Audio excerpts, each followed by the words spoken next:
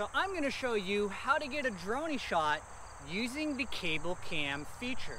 Now you might be asking yourself, why would I use the cable cam feature to get a dronie shot when I could use the one shot feature and get a dronie? The answer is simple. What if the three second timer that starts the dronie isn't enough time for you to get into your position? What if you want a multiple recurring dronie shot to happen so you don't have to start and stop every time the single skill shot is finished? What if, what if, what if for some reason you wanted to do a handstand on this pile of wood back here and for some weird reason that there is a stump, a tree stump at the top that you could potentially do a handstand on? We're gonna find out right now.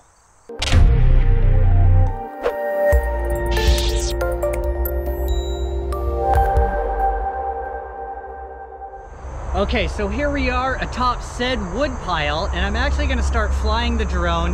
There is a freeway behind me, so there is some added noise, unfortunately.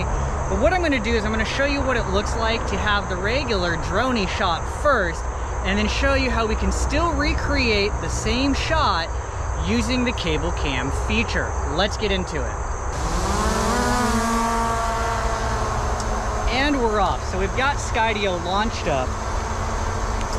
I'm gonna move it a little bit to the right and we are going to select the dronie feature. So I want it to be to the right a little bit more and we're gonna check the sliders over here.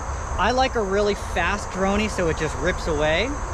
And the distance, we're gonna have it go 200 feet away with a height increase of, let's say 100 feet, okay?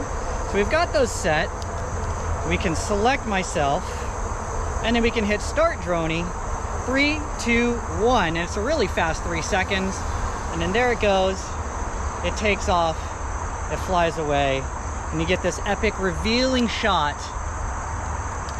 as is expected with a drone shot. And I really like the high speed ones because then I don't have to speed it up later in post. Although that's a technique that you could be using as well. Pulls back, it comes down, and now the drone is finished and complete. Goes back into motion track. So here we go. I'm gonna show you how to use cable cam to get the same feature, and then we'll talk about why that's gonna be different. So I'm gonna nudge the drone up a little bit because I want it a little bit closer. This is what I really like about the cable cam feature. So we're gonna select cable cam. We're gonna set our A point right here. And then I'm gonna take it backwards and increase the height. I don't got to worry about it hitting anything. I can see it visually, but I also know that the sensors are working. And I'll send it back to here. We'll pretend like this is about the right point. Okay? I'm to set the B. Let me turn this up. There we go. Perfect. Maybe just a little more height. Good. Set B. Then what we can do is we come back to the sliders and the adjustments. The speed, I want a really fast one, so I'm going to go max speed. And style, we're going to switch from manual to looping, which means that the loop will constantly repeat over and over again until I tell it to stop. I hit loop, and it starts doing its thing. Yes? So it's gonna come in, I can strike a pose, and then it's gonna rip right back out. And it's gonna constantly go back and forth every time through this loop until I tell it to stop. Now, why would I want that? Well, if we look at this really nice thing I've got right here, this stump, what if I want to do a handstand on top of this stump?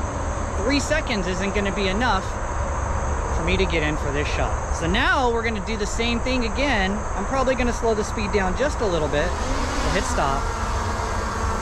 Yeah. And now I'm going to work on trying to do a handstand on top of a wood pile. Let's see if we can get the shot.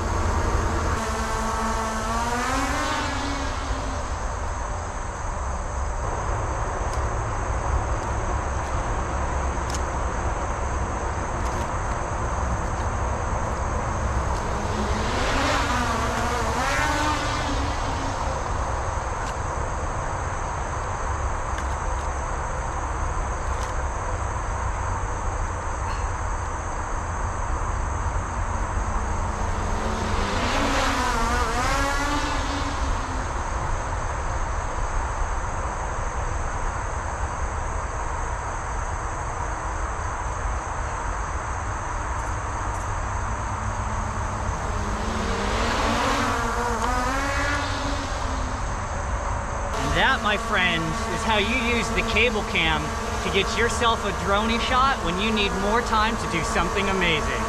So let's try this in orbit mode and see what we can get. There's not a whole lot of space behind me, but maybe at the closest setting we'll be able to get something really interesting.